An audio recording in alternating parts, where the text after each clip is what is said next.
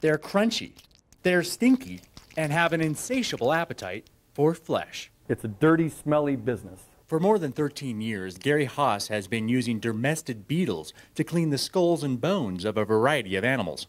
They really like muskrat, they like antelope, some bears, snakes. They seem to like whitetail over mule deer. They'll eat emu and ostrich really fast.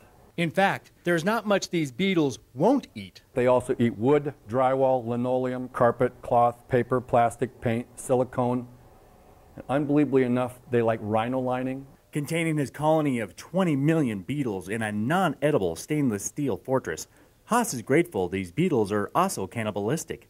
Otherwise, there would be a new beetle invasion. 75% of the colony is female, so that means 15 million females, and each female can lay upwards of 10,000 eggs in a life cycle. So what's 15 million times 10,000? It's a good thing that only a very, very small percentage of the larvae that hatch survive. Those who do make it can clean an entire deer skull in six hours and an elk in eight. I can do about 100 to 120 skulls a week. I'm, we've harnessed Mother Nature here.